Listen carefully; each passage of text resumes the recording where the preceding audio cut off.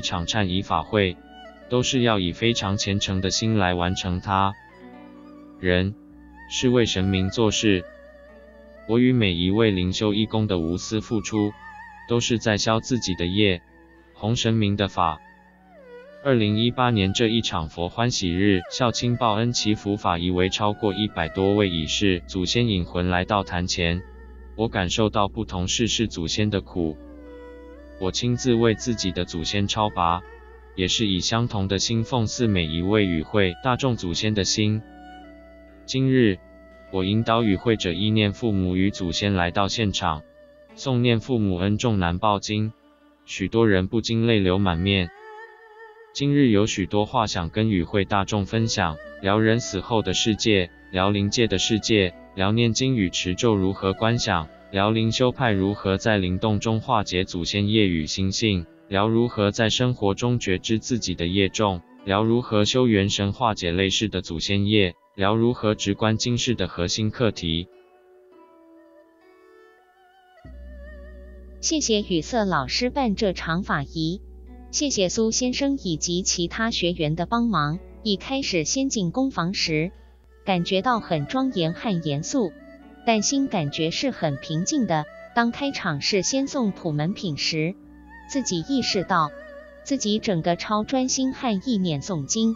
而当要开始为祖先诵经时，语色老师要我们意念自己很多的祖先。在法仪现场时，而当师兄和老师开始诵经文时，我意念这祖先在法仪时，不知道为什么我身体开始有个很强烈的气流出现，一直不断的在身体串动，一直让身体不断的晃动。我不知道为什么会这样，而我只能告诉自己专注意念与祖先，先不理会身体的状况。在这同时，不知道为什么感觉想哭，而且还有一股沉重的力量在肩膀上。之后，在诵经的中间，感觉有些祖先好像消失了，这身体的晃动和想哭以及沉重力量有消减。但是当我在意念自己的祖先，又有出现其他祖先，前面的那些不适感又再次出现了。但是过了一段时间又会消减，直到诵经结束后，我的身体和意念才得以放松。在到诵报父母恩时。当雨色老师说意念自己的父母在法仪时，我刚诵经没多久后，开始感到难过，眼泪一直不断想夺眶而出，而中间有数度哽咽。中间在诵时恩时，觉得有些无法对应到父母行为，但是我会告诫自己，或许没有，但是不能抹杀他们的其他恩，而且或许是父母有付出，但自己却不知道。在送报父母恩时，心中的愧疚感一直不断出现，很像在佛陀面前向父母忏悔自己的行为和态度。在后面念药师佛的解冤咒时，雨色老师要我们自己意念与父母或和他人之间发生不愉快之时。当师兄们开始诵解冤咒时，我开始一个一个意念的人，不知道为什么幻化成一条线。每意念一个人，就变成一条线，连结成缠绕在我的身边，再变成好多圆圈环绕在我身上。与此同时，好像突然发觉到自己的行为与意念，就只是在这二十七年间，就这么多的结在我身上。难怪会说自己的意念与行为，你无法说是前世造成，因为无法得知。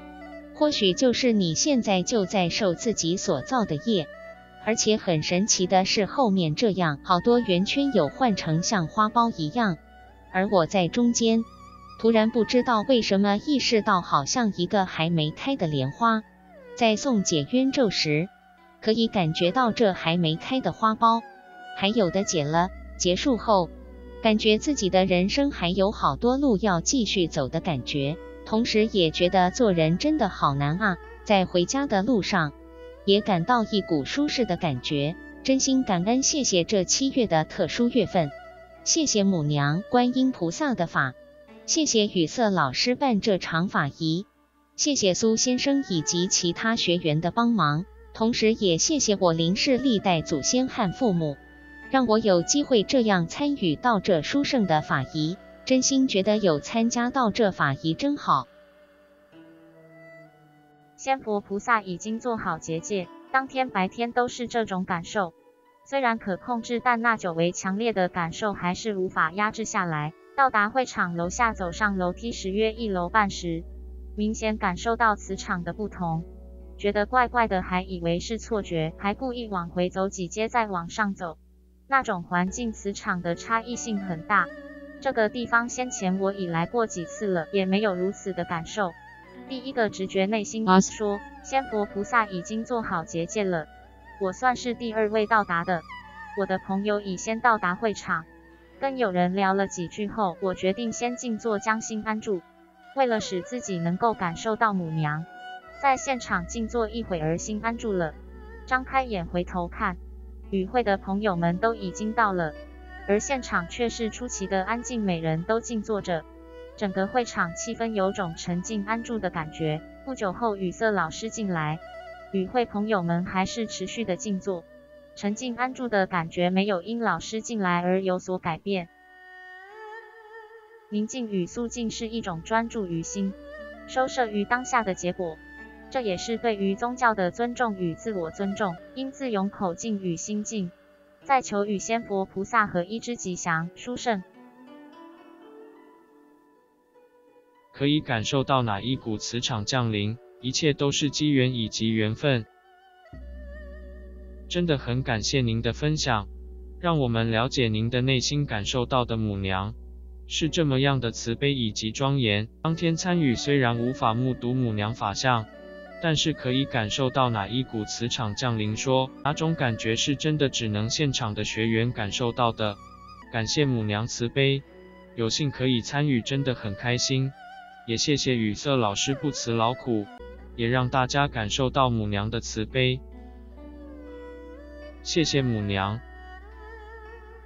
谢谢雨色老师，眼泪又不受控制的掉下来，一分之八七心一直忐忑不安。经过昨晚的洗礼，情绪是喜平淡。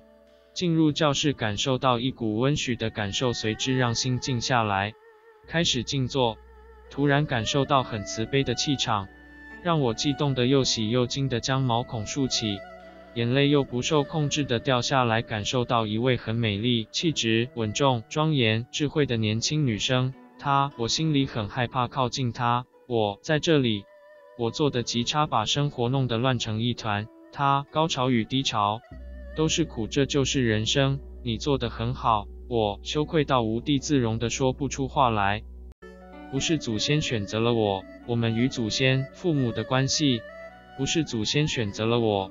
也不是父母选择了我，更不是我们选择了他们，是业力选择了我们进入在这一个大家族中，共同完成彼此人生的课题。不好的习气磨练我们逆增的智慧，好的习气考验我们精进的智慧。今生心性与人生不好，不要埋怨祖先与父母，要回头看顾我们的自己，在这家族中。我们够努力让自己回归中庸之道吗？我们对父母与家族或许有种种因素，我们无法感恩，但至少我们必须学习接受。接受不是谁对谁错，接受是一种真正的面对。这就是报父母恩以及为祖先拔度的意义。一则网友的分享，很感恩母娘这次的忏仪举办报父母恩。父母亲很早就往生了，一直很想帮他们做些什么。当我看到脸书的 po 文，马上就填写资料，报名报父母恩。当我填写资料时，突然让我觉知到，我的业习性观念来自母亲，它深深地影响着我的人生习惯与个性。原来连结得如此深。虽然平常上语色老师的课程或讲座。老师的观念让我改变许多的人生观念，也让我改变修行观。但是看到自己的问题，明知道却还是改不了。某些的问题，却如影随形的影响着我。这次报名时，却让我知道真正的问题与原因。